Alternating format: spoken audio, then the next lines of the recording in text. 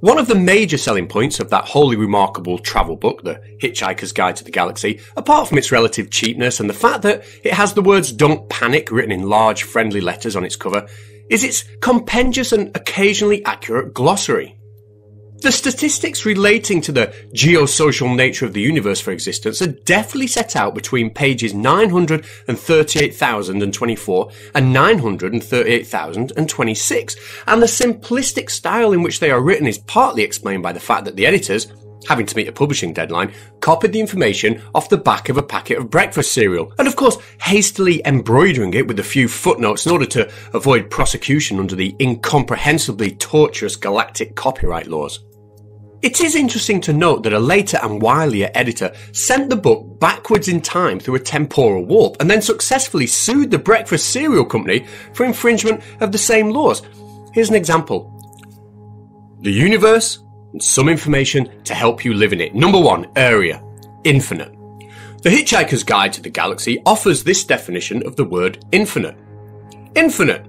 Bigger than the biggest thing ever and then some. Much bigger than that, in fact. Really amazingly immense. A totally stunning size. Infinity is just so big that by comparison, bigness itself looks really titchy. Gigantic multiplied by colossal multiplied by staggeringly huge is the sort of concept we're trying to get across here. Number two, imports. None. It is impossible to import things into an infinite area, there being no outside to import things from. Number three, exports. None. See imports. Number four, population. None. It is known that there are an infinite number of worlds simply because there is an infinite amount of space for them to be in. However, not every one of them is inhabited, therefore, there must be a finite number of inhabited worlds. Any finite number divided by infinity is near to nothing as makes no odds, so the average population of all of the planets of the universe can be said to be zero. From this, it follows that the population of the whole universe is also zero, and that any people you may meet from time to time are merely the products of a deranged imagination. Number 5. Monetary units. None. In fact, there are three freely convertible currencies in the galaxy, but none of them count. You see, the Altairian dollar has recently collapsed and the Ferninian pobble bead is only exchangeable for other Ferninian pobble beads and the Triganic pew has its very own special problems. Its exchange rate of 8 ningis to 1 pew is simple enough, but since a ningi is a triangular rubber coin 6,800 miles across each side, no one has ever collected enough to own one pew. Ningis are not negotiable currency because the galactic banks refuse to deal in fiddling small change. So from this basic premise, it is very simple to prove that the galactic banks are also the product of a deranged imagination. Number six, art, none. The function of art is to hold the mirror up to nature, and there simply isn't a mirror big enough. See point one. Number seven, sex. None. Well, in fact, there is an awful lot of this largely because of the total lack of money, trade, banks, art, or anything else that might keep all the non-existent people of the universe occupied. However, it is not worth embarking on a long discussion of it now, because it really is terribly complicated. For further information, see guide chapters 7, 9, 10, 11, 14, 16, 17, 19, 21 to 84 inclusive, and in fact, uh, most of the rest of the guide. The restaurant continued existing, but everything else had stopped. Temporal relastatics held it and protected it in a nothingness that wasn't merely a vacuum. It was simply nothing. There was nothing in which a vacuum could be said to exist. The force shielded dome had once again been rendered opaque. The party was over, the diners were leaving, Zarquon had vanished along with the rest of the universe, the time turbines were preparing to pull the restaurant back across the brink of time in readiness for the lunch sitting, and Max Quordlepleen was back in his small curtained dressing room trying to raise his agent on the temporal phone. In the car park stood the black ship, closed and silent. Into the car park came the late Mr. Hotblack Desiato, propelled along the moving catwalk by his bodyguard. They descended one of the tubes, and as they approached the Limo ship, a hatchway swung down from its side, engaged the wheels of the wheelchair, and drew it inside. The bodyguard followed and having seen his boss safely connect up to his death support system, moved up to the small cockpit. Here, he operated the remote control system, which activated the autopilot in the black ship lying next to the limo, thus causing great relief to the Zaphod Beeblebrox, who had been trying to start the thing for over 10 minutes. The black ship glided smoothly forward out its bay, turned and moved down the central causeway swiftly and quietly, and at the end of it accelerated rapidly and flung itself into the temporal launch chamber and began the long journey back to the distant past. The Milliways launch menu quotes, by permission, a passage from The Hitchhiker's Guide to the Galaxy. This passage is The history of every major galactic civilization tends to pass through three distinct and recognizable phases those of survival, inquiry, and sophistication, otherwise known as the how, why, and where phases. For instance, the first phase is characterized by the question, How can we eat? The second question, Why do we eat? And the third by the question, Where should we have lunch? The menu goes on to suggest that Milliways, the restaurant at the end of the universe, would be a very agreeable and sophisticated answer to that third question. What it doesn't go on to say is that it will usually take a large civilization many thousands of years to pass through the how, why, and where phases. Small social groupings under stressful conditions can pass through them with extreme rapidity. How are we doing? said Arthur Dent. Badly, said Ford Prefect. Where are we going? said Trillian. I don't know, said Zaphod Beeblebrox. Why not? demanded Arthur Brent.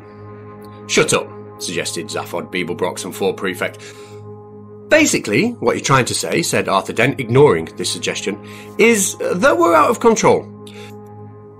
The ship was rocking and swaying sickeningly as Ford and Zaphod tried to wrest control from the autopilot. The engine howled and whined like tired children in a supermarket. You know, it's the wild colour scheme that freaks me, said Zaphod, whose love affair with the ship had lasted almost three minutes into the flight. Every time you try and operate one of these weird black controls that are labelled in black on a black background, a little black light lights up black to let you know you've done it. What is this? Some kind of galactic hyperhearse? The walls of the swaying cabin were also black, the ceiling was black, the seats, which were rudimentary since the only important trip the ship was designed for was supposed to be unmanned, were black. The control panel was black, the instruments were black, the little screws that held them in place were black, the thin tufted nylon floor covering was black, and when they had lifted up a corner of it, they discovered that the foam underlay also was black. Perhaps whoever designed it had eyes that responded to different wavelengths, offered Trillian. Well, didn't have much imagination, muttered Arthur. Perhaps, said Marvin. He, he was feeling very depressed. In fact, though they weren't to know it, the decor had been chosen in honour of its owner's sad, lamented, and tax-deductible condition. The ship gave a particularly sickening lurch. Take it easy, pleaded Arthur. You're making me space sick. Time sick, said Ford. We're plummeting backwards through time. Thank you, said Arthur. Now I really think I am going to be ill. Go ahead, said Zaphod. We could do with a little bit of colour about this place. This is meant to be a polite after dinner conversation, is it? snapped Arthur. Zaphod left the controls for Ford to figure out and lurched over to Arthur. Look, Earthman, he said angrily. You've got a job to do, right? The question to the ultimate answer, right? What, that thing? I thought we'd forgotten about that, said Arthur. Not me, baby. Like the mice said, it's worth a lot of money in the right quarters, and it's all locked up in that head thing of yours. Yes, but but nothing. Think about it, the meaning of life. We get our fingers on that, we can hold every shrink in the galaxy up to ransom, and that is worth a bundle. I owe mine a mint. Arthur took a deep breath without much enthusiasm. Alright, he said, but where do we start? How should I know? They say the ultimate answer or whatever is 42. How am I supposed to know what the question is? It could be anything. I mean, what's 6 times 7? Zaphod looked him hard for a moment. His eyes blazed with excitement. Forty-two, he cried. Arthur wiped his palm across his forehead. Yes, he said patiently, I, I know that. Zaphod's faces fell. I'm just saying that the question could be anything at all, said Arthur, and I don't see how I'm meant to know. Because, hissed Zaphod, you were there when your planet did the big firework. We have a thing on Earth, began Arthur. Had, corrected Zaphod. Uh, called tact. Oh, never mind. Look, I just don't know. A low voice echoed dully around the cabin. I know, said Marvin. Ford called out from controls he was still fighting a losing battle with. Uh, stay out of this, Marvin, he said. This is organism talk. It's printed in the Earthman's brainwave patterns, continued Marvin, but I don't suppose you'd be very interested in knowing that. You mean, said Arthur, you mean you can see into my mind? Yes, said Marvin. Arthur stirred in astonishment. And. And it amazes me how you can manage to live in anything that small. Ah, said Arthur, abuse. Yes, confirmed Marvin. Ah, ignore him, said Zaphod. He's only making it up. Making it up, said Marvin, swivelling his head in a parody of astonishment. Why should I want to make anything up? Life's bad enough as it is without wanting to invent any more of it. Marvin, said Trillian in the gentle, kindly voice that only she was capable of assuming in talking to this misbegotten creature. If you knew all along, then why didn't you tell us? Marvin's head swiveled back to her. You didn't ask, he simply said. well, we're asking you now, Metal Man, said Ford, turning around to look at him. At that moment, the ship suddenly stopped rocking and swaying, the engine pitch settled down into a gentle hum. Hey Ford, said Zaphod, that sounds good. Have you worked out the controls of this boat? No, said Ford. I just stopped fiddling with them. I reckon we just go to wherever the ship is going and get off it fast. Yeah, right, said Zaphod. I could tell you weren't really interested, murmured Marvin to himself and slumped into a corner and switched himself off. Trouble is, said Ford, that the one instrument in this wily ship that is giving any reading is worrying me. If it is what I think it is, and if it is saying what I think it's saying, then we've already gone too far back into the past, maybe as much as two million years before our own time. Zaphod shrugged. Time is bunk, he said. I wonder who the ship belongs to anyway, said Arthur. Me, said Zaphod. No, who it really belongs to. Really, me, insisted Zaphod. Look, property is theft, right? Therefore, theft is property. Therefore, the ship is mine, okay? Tell that to the ship, said Arthur.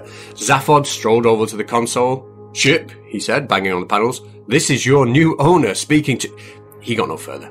Several things happened all at once. The ship dropped out of time travel mode and re-emerged into real space. All the controls on the console, which had been shut down for the time trip, now lit up. A large vision screen above the console winked into life, revealing a wide starscape and a single very large sun dead ahead of them.